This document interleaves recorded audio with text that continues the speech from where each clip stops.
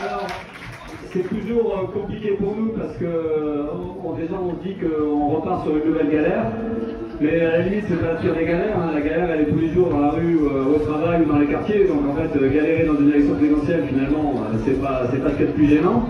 Et, euh, et c'est vrai qu'il y a aussi un paradoxe, à chaque fois on le dit, on le redit, euh, c'est qu'en fait on n'est pas du tout électoraliste, on pense pas que c'est les élections qui changent la vie, on pense pas qu'un bon président peut nous sauver, on pense pas d'ailleurs que la fonction présidentielle ce soit une réponse euh, démocratique, et, on pense au contraire que ce sont les luttes qui peuvent changer la vie, les mobilisations, la révolte, et que comme le disait Pauline ou Héloïse, ça passe par des combats, des combats politiques que notre camp social doit pouvoir mener, et c'est ça qu'on a envie de défendre. Donc le paradoxe c'est qu'en fait on va dans une élection, d'abord on s'invite quelque part, hein, puisque c'est un endroit où a priori on n'est pas trop désiré, hein, euh, et on y va ben, parce qu'on a envie de dire, ben, justement, il y a une société à dénoncer, il y a un capitalisme à combattre, il y a des révoltes à relayer, à faire entendre, et donc euh, une lutte à organiser. C'est ça qu'on va dire. Alors on peut me dire qu'on est hors sujet, qu'on se trompe, qu'on n'a pas l'État, ben si, souvent, on a envie d'être là, vous peut-être vu, d'ailleurs il y a des autocollants et des affiches qui disent on sera là, vous êtes prévenus, on sera là, et on va tout faire pour y être, a...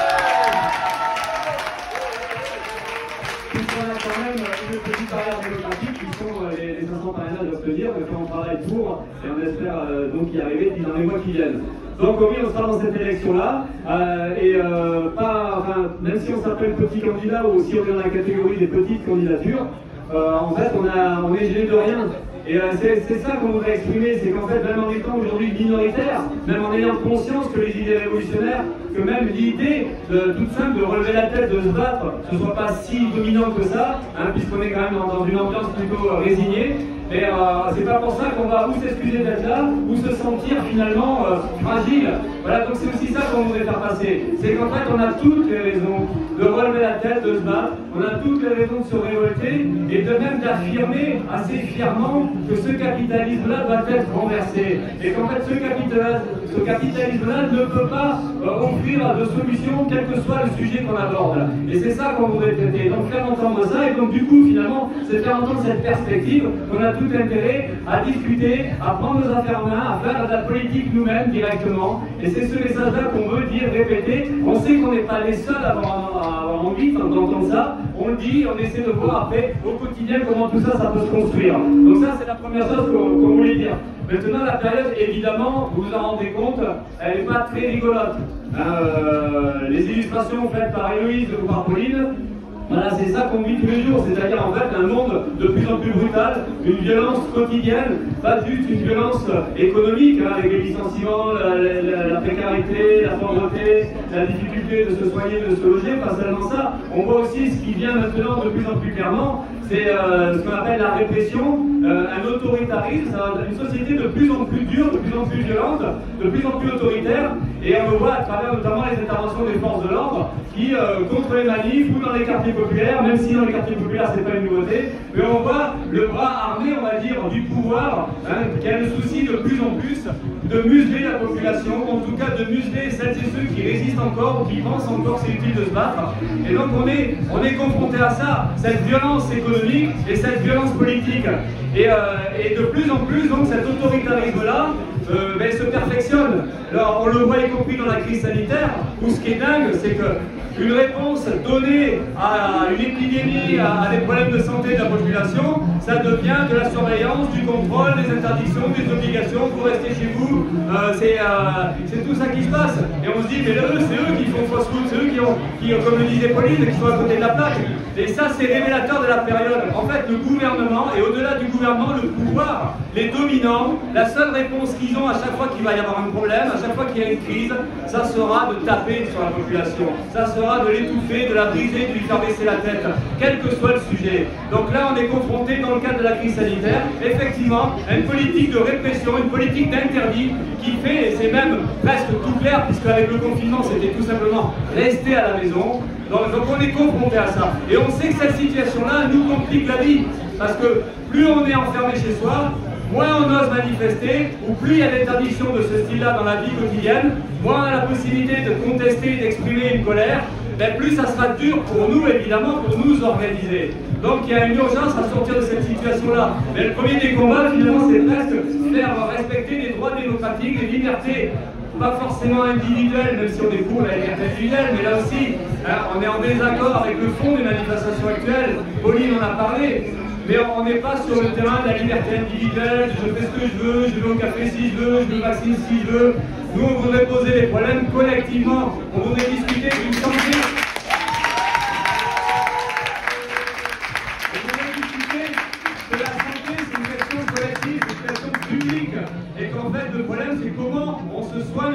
comment on se sort ensemble, comment on se protège ensemble. Et donc c'est forcément combattre à la fois l'individualisme, mais tout un fond réactionnaire. Et on voit que c'est pas pour rien que l'extrême droite est à l'aise dans les manifestations aujourd'hui anti-pass, puisque finalement leur seule réponse, ben, c'est euh, juste euh, non, on veut être libre et tout ça. Donc on a ce problème-là de faire face à, cette répression-là et de faire face donc à un contexte était présent, c'est-à-dire l'individualisme de chacun pour soi, et on paye aussi très cher finalement les années de recul sociaux, parce qu'on ne les paye pas uniquement en comptant le nombre de chômeurs ou de précaires ou de gens qui se suicident au travail, on ne le compte pas que comme ça, on le compte aussi parce que l'ambiance dans la société, c'est plus tout à fait la même. C'est vraiment l'individualisme de chacun pour soi, et on le paye très cher c'est comment on reconstruit ça? Comment on arrive à affirmer des perspectives politiques qui permettent justement de discuter ensemble et de dire, ben oui, la seule réponse, c'est vraiment le rapport de force collective, c'est euh,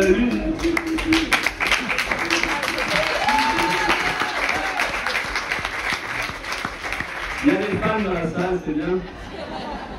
Donc du coup, cette question de, de la répression, c'est euh, évidemment, on pense de suite à la police qui tabasse, qui gaze, hein, qui lance des grenades. Donc on voit ça, on voit aussi cette justice derrière, hein, qui arrête, qui met en prison, qui enferme pendant des semaines, des mois, des centaines, des milliers de militants, de manifestants. Enfin, c'est quand même la réalité quotidienne. Donc on pense de suite à ça.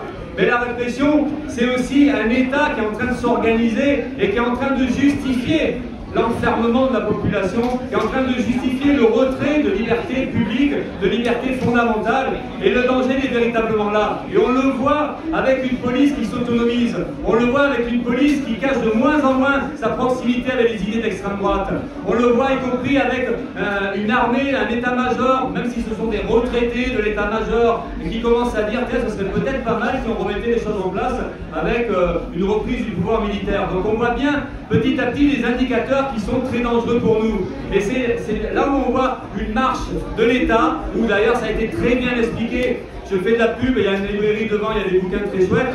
Mais il y a Ariel Henry qui a écrit un bouquin, un coup d'état d'urgence. Il y a aussi Raphaël Kempf qui a, écrit un livre, enfin, je suis désolé, je vais l'apparter comme ça, mais un truc très intéressant où il raconte à la fin du 19e siècle comment il y a eu des lois anti-terroristes contre le terrorisme anarchiste à l'époque, qui étaient des lois pour museler la population, pour combattre les, révolutionnaires et les anarchistes. Et en fait, il, il fait un parallèle entre les deux périodes, comment des gouvernements à la fois dans la panique, mais en même temps conscients que leur propre intérêts, c'est de museler la population. Et donc, entre l'état d'urgence aujourd'hui et les états d'urgence du XXe siècle, on se retrouve avec une république, c'est pas la même, c'était la troisième, aujourd'hui c'est la cinquième. Mais en fait, c'est les mêmes réflexes de classe, de domination. Dès qu'il y a une crise hégémonique, comme on dit, ou dès qu'il y a une crise de domination, la réponse, c'est la répression. Donc, du coup, c'est pas juste, c'est pas juste une police, une méchante qui tape. Euh, même si c'est ça qu'on voit de suite, mais c'est vraiment un État qui est en train de se muscler et qui est en train d'aller plus ou moins euh, rapidement vers euh, ce qu'on appelle un État policier, un État autoritaire et peut-être même derrière un État militaire ou peut-être derrière, et ça c'est des choses qui discutent en ce moment, une sorte de fascisation donc de l'État. Donc il y a un véritable danger. Et là j'en viens évidemment à l'extrême droite, parce que le lien entre la police qui réprime, la justice qui enferme et la montée de l'extrême droite, il est assez facile à faire. Parce que l'extrême droite, c'est pas juste Le Pen qui fait 25% aux élections. Pendant un temps, les soirées électorales étaient hyper désagréables. C'était le FN qui montait, qui montait, qui montait. Et aujourd'hui, l'extrême droite, c'est pas juste les scores électoraux qui font peur. C'est au quotidien, dans la rue. Et c'est pas juste la police qui revendique sa proximité avec les idées réactionnaires et qui nous tabasse encore une fois. C'est aussi des militants qui passent à l'acte, des groupuscules nazillons, fascistes, des groupuscules d'extrême droite, catho-intégristes, qui aujourd'hui attaquent soit des militants de gauche, soit des militants antifascistes comme Raphaël, un camarade de la jeune garde de Lyon qui a été attaqué il y a deux jours. Je n'attaque pas que des militants à Bordeaux, un militant anarchiste a été agressé dans la manif du samedi, la semaine dernière. Donc on sait que les militants sont visés, mais pas seulement. On sait que c'est des attaques racistes aussi. Ça attaque des personnes dans les quartiers populaires ou dans la rue parce qu'ils sont noirs, parce qu'ils sont arabes, parce qu'ils sont musulmans. Parce qu'elles sont femmes. Donc il y a tous ces problèmes-là. Et aussi parce qu'ils sont homos. Donc il y a tous ces combats-là qu'il va falloir voir. Parce qu'en fait, on s'aperçoit que l'extrême droite reprend la place avec son ordre moral de merde, à essayer de respirer tout le monde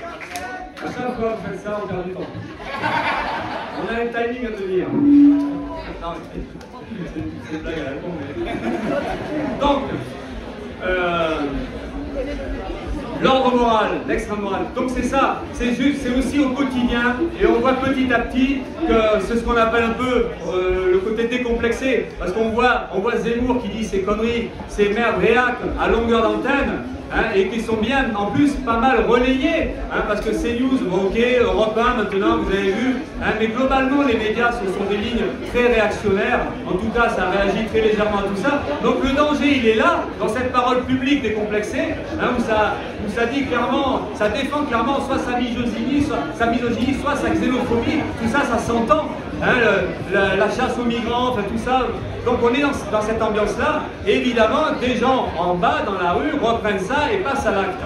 Donc on a ce danger-là qui est immédiat. Donc évidemment que bon, ça a été discuté tout à l'heure, mais euh, ça fait partie des combats d'actualité qui sont même prioritaires aujourd'hui parmi d'autres. C'est la lutte, ce qu'on appelle la lutte antifasciste, la lutte contre l'extrême droite. Et c'est comment ça peut s'organiser de manière unitaire. Parce que là aussi, il faudrait être capable de regrouper ce qu'on appelle les forces démocratiques. Il ne s'agit plus seulement là de discuter des anticapitalistes, des révolutionnaires, mais de discuter de comment dans le mouvement social, les gens qui pensent qu'on a intérêt à défendre la liberté quotidienne de tout le monde, l'égalité de droits pour toutes et tous, et bien ce combat-là, il faut arriver à l'organiser unitairement, avec les syndicats, les collectifs, les associations, les partis politiques. Et ça, il y a un enjeu pour nous et qui est très urgent, c'est cette capacité à réagir là-dessus et d'arriver à défendre directement dans la rue au quotidien tous ces droits-là on a le problème du coup de la démocratie. Donc la démocratie, ben oui, on n'est pas pour la démocratie bourgeoise, mais on est quand même pour avoir des droits. Hein. Et donc il y a cette bataille-là, mais la démocratie, c'est pas juste un problème politique, c'est pas juste un État, c'est pas juste euh, des collectivités territoriales, c'est pas juste euh, avoir son emploi, tout ça. C'est la question de comment l'économie fonctionne. Et nous, on voudrait discuter de la démocratie, y compris à ce niveau-là. Et la question de la démocratie, elle ne peut être posée que si on pose le problème de la propriété privée, des moyens de production, de la propriété privée de l'économie en fait. Et donc on pense, nous, que ça passe aussi par un combat pour ce qu'on appelle la socialisation de tout ce qui concerne en tout cas les besoins fondamentaux de la vie. La santé, Pauline en a parlé, on pense qu'il faudra être un service public qui est libéré de la marchandisation, de la politique de rentabilité et qui soit sous contrôle des salariés de la santé. On pense aujourd'hui que l'éducation nationale, que l'ensemble des services publics qui correspondent à des besoins ce soit des services publics. Mais au-delà de ça, nous on a envie de discuter que finalement, l'ensemble du secteur économique doit être sous contrôle de la population. Et donc ça pose le problème effectivement de socialiser l'économie et de pouvoir en fait prendre en main l'économie, de l'organiser de manière à ce qu'elle puisse répondre aux besoins de la population.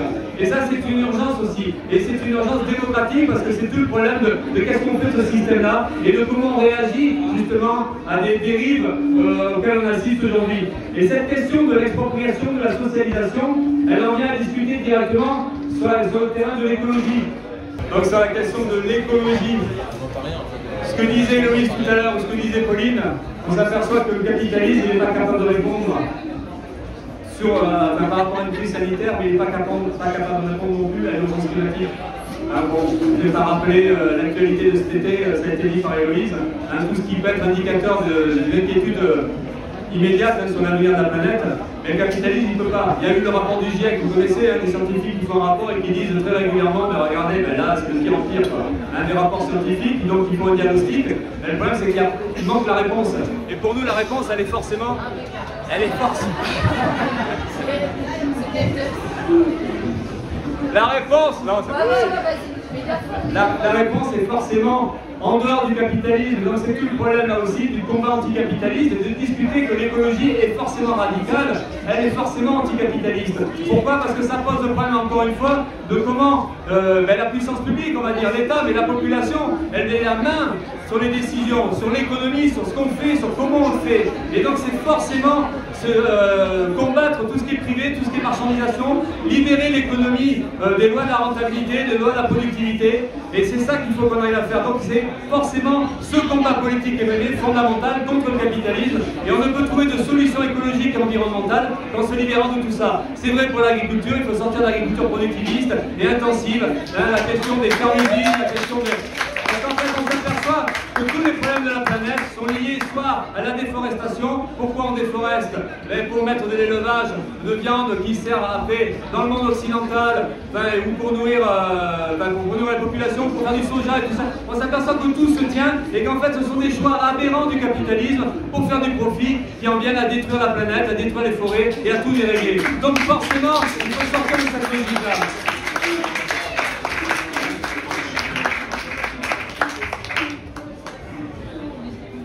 Donc il faut sortir de cette logique C'est pour ça qu'on défend, mais là aussi, euh, c'est toujours un peu des fois, c'est pas simple parce que, encore une fois, on fait le lien avec la période qu'on est en train de vivre, les reculs, euh, la difficulté qu'on a de faire entendre des choses, des idées, puis même d'empêcher de, des projets de merde, hein, comme encore une fois dans, la Nouvelle-Aquitaine, du côté de Niort ou du côté de, de, Poitiers, vous savez, il y a des, fonds des bassines, des stockages d'eau, hein, mais énormes. Hein, ils vont puiser l'eau dans la nappe phréatique, ils mettent ça à la surface de la Terre, c'est aberrant comme tout, c'est nul comme tout, mais ils le font quand même, c'est validé par les collectivités territoriales, c'est argumenté, euh, archi-argumenté par les collectifs et les associations scientifiques ou les associations écologistes, ils continuent quand même. Et là, on a l'illustration, mais comme l'avait été Notre-Dame-des-Landes ou comme elle avait été le barrage de des trucs complètement dingues qui font quand même, mais tout ça parce qu'il y a un pouvoir qui est vraiment déconnecté d'une part de la population, déconnecté des intérêts généraux de la population, mais qui, qui est entre eux et qui sont au service des puissances économiques.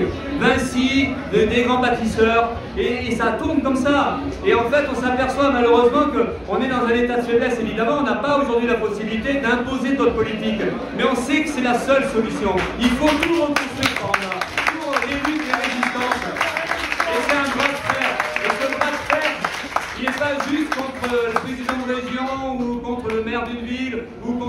l'État, il est contre ces, dominants, ces capitalistes, ceux qui font du pognon et qui n'ont pas grand chose à faire de l'avenir de la planète parce qu'ils considèrent que comme ils sont riches, ils seront de toute façon à l'abri. Hein, c'est aussi euh, normal, c'est les pauvres qui payent. D'ailleurs aujourd'hui la crise climatique, c'est les peuples des pays pauvres qui le payent le plus euh, et, ça continuera comme ça pour eux. Donc du coup il y a cette urgence-là aussi, hein, l'urgence climatique, c'est l'urgence du combat anticapitaliste et d'arriver à formuler des perspectives justement de socialisation, d'expropriation et de contrôle de l'économie par l'ensemble des populations.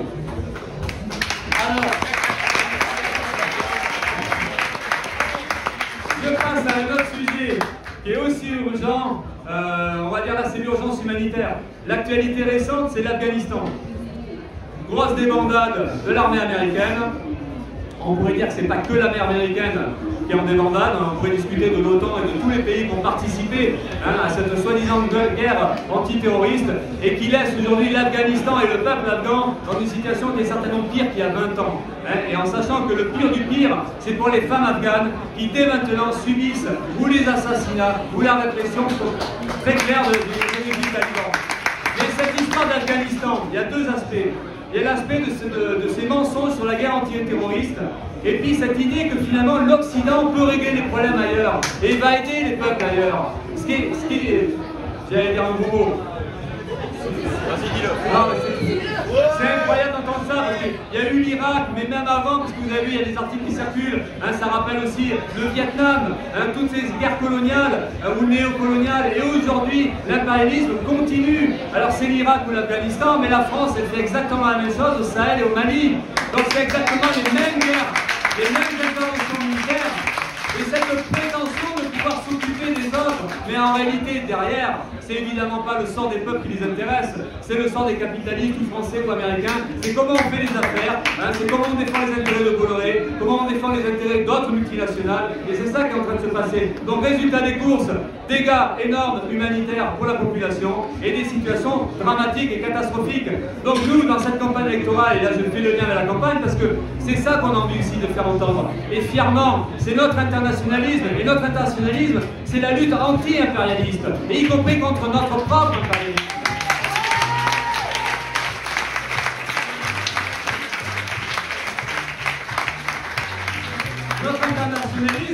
Solidarité avec les peuples, avec la lutte des autres peuples, qui luttent ou qui ne luttent pas. Hein, c'est aujourd'hui le peuple chilien qui se bat, qui arrive à transformer la Constitution, qui a viré la Constitution de Pinochet, qui aujourd'hui a une assemblée, on verra ce que ça devient. Mais il y a des processus qui peuvent être des processus révolutionnaires. Mais pourquoi? Parce que la population relève la tête et se bat. Donc on est solidaire de la lutte du peuple chilien, on est solidaire de la lutte du peuple colombien, on est solidaire de la lutte du peuple algérien. Aujourd'hui, même si avec la crise sanitaire, la bataille est un peu plus compliquée. On est solidaire avec évidemment toutes les luttes qu'il y a eu avant. Vous vous rappelez, avant la crise sanitaire, c'était même le truc qui était enthousiasmant. On écoutait la radio, on regardait la télé, et on voyait les manifs euh, au Liban, on voyait les manifs à Hong Kong, hein, les manifs un peu partout. On se disait, il y a quelque chose qui est en train de se passer. Malheureusement, la crise sanitaire, elle a un peu freiné ou bloqué tout ça. Mais c'est des choses qui sont des réalités. C'est que les révoltes sont là. Et donc, nous, notre internationalisme, c'est ça, c'est cette conscience que notre sort, de toute façon, il est planétaire. Et c'est cette solidarité. Et on espère, on sait que c'est contagieux, mais on compte sur les luttes d'ailleurs pour pouvoir encourager les luttes de notre côté et vice versa. Donc pour nous c'est important et c'est la base de ce qu'on a envie de défendre,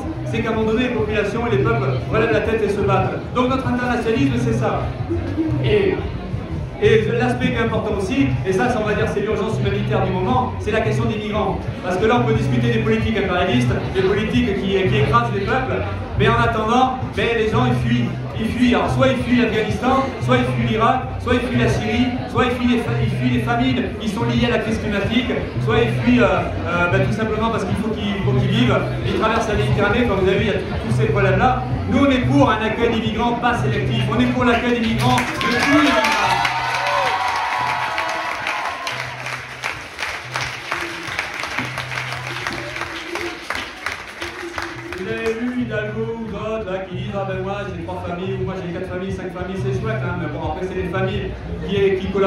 l'État français ou l'armée française ou l'armée américaine. Mais ce qui est dingue, c'est ça, c'est cette idée qu'ils peuvent choisir. C'est cette idée qu'en même temps aussi, pendant qu'ils se félicitent d'accueillir des migrants afghans, ils continuent à attaquer les squats, hein, ils continuent à virer les squats, à secouer les a des migrants. Donc oui, on est pour l'accueil des migrants. On pense que les pays comme la France sont des pays suffisamment riches pour avoir largement les moyens d'accueillir tout le monde sans sélectionner, des réfugiés climatiques, économiques ou politiques. Et c'est la question derrière cet accueil qui représente une, urgence humanitaire, c'est la question tout simplement de, de l'ouverture des frontières. Alors c'est irréaliste, on nous dit que c'est pas possible, que le monde tel qu'il est, on peut pas, mais si, mais nous on est pour l'ouverture des frontières. On est pour la liberté.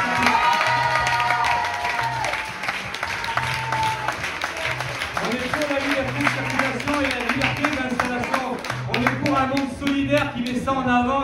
C'est fondamental. On ne peut pas aujourd'hui discuter qui c'est compliqué. Non, c'est pas compliqué, c'est très simple. On veut un monde libre. Et c'est des, des questions politiques fondamentales. Et là aussi, ça peut être que hors capitalisme. Et c'est un combat politique qui peut se mener forcément contre les intérêts souverainistes, nationalistes, qui sont les intérêts de la classe dominante. Les frontières qu'on nous met dans la gueule, c'est des frontières pour que les capitalistes puissent nous dominer encore plus fort.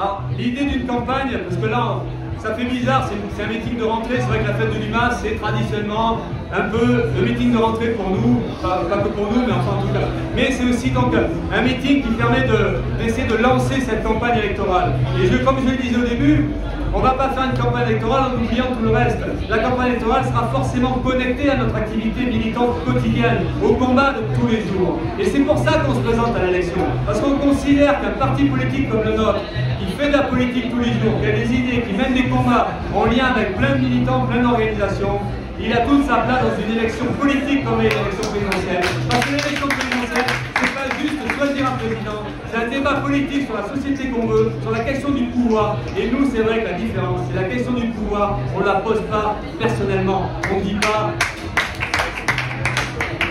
Ah, je croyais que ça allait s'arrêter, moi. Nous, on pense que c'est une question collective, évidemment, c'est une question de camp social. Et nous, c'est ça qu'on a envie d'exprimer, c'est que la question du pouvoir, ben, nous, on la pose collectivement et de discuter que oui, l'avenir, c'est le combat, le combat de notre camp social. Comme disait Pauline tout à l'heure, est-ce que c'est le mouvement ouvrier, est-ce que c'est le mouvement social? Euh, De toute façon, on se comprend. Hein, c'est tous ceux qui sont aujourd'hui opprimés, tous ceux qui sont victimes de l'exploitation capitaliste, de cette société, c'est tous ceux qui sont victimes du patriarcat, tous ceux qui sont victimes du racisme, tous ceux qui sont victimes de l'homophobie, toutes ces oppressions, toutes ces discriminations. Donc ce camp-là, eh il faut qu'on se batte pour renverser. Et l'élection, encore une fois, je reviens là-dessus, on va faire passer ça, défendre ça. Parce qu'on pense en plus que le dire dans une élection, ça permet d'abord eh de faire de, bah, d'être présent au moment, ouais.